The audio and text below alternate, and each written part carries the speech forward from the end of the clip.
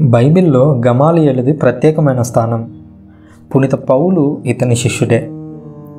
ఇతడు పరిజేయుడు. అంటే దేవదూతలు ఉన్నారని చనిపోయిన వారు తిరిగి లేస్తారన్న నమ్మకం ఉన్నవాడు. మొదటి శతాబ్దపు ప్రారంభంలో యూదా సమాజంపై ఈయన తిరుగు తిరుగులేని ముద్ర వేశాడు. సాధారణంగా యూదులు తమ బోధకులను రబ్బీ అని పిలిచేవారు. కానీ గమాలి గమాలియలను మాత్రం రబ్బాన్ అని పిలిచినట్లు చరిత్రకారులు చెబుతున్నారు. రబ్బాన్ అంటే మా బోధకుడు. అంతగా ఆయన సామాన్యుల జీవితాల్లోకి చొచ్చుకెళ్ళాడు.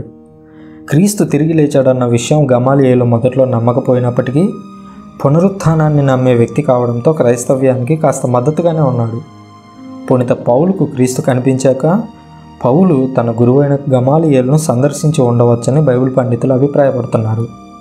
యూదుల్లో అధికులు క్రీస్తును వ్యతిరేకించినప్పటికీ గమాలియలు శిష్యుడైన పౌలు మాత్రం యేసు గురించి ప్రచారాన్ని మమ్మురం గావించాడు దీనికి గమాలియల నుంచి వచ్చినటువంటి సైద్ధాంతిక ప్రోత్సాహం ఎంతగానో ఉందని యూదా పండితులు చెబుతున్నారు.